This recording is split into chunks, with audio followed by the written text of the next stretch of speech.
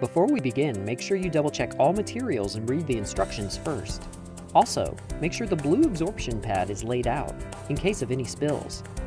For assembly of this product, please reference our assembly video for the Vini Puncture Simulation Kit. The link is at the top of this video. Let's dive in! Step 1.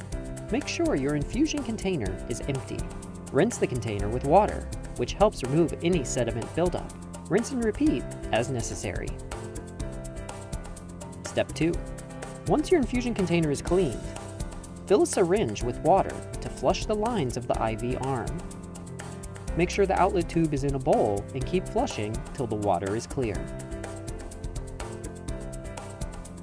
Step 3.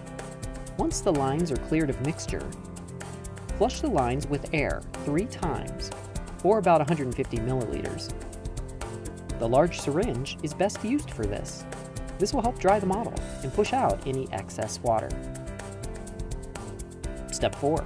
Make sure to always wear gloves when handling any needles. Rinse any syringes and needles used. Repeat until cleaned. Let the model dry for 24 hours before storing.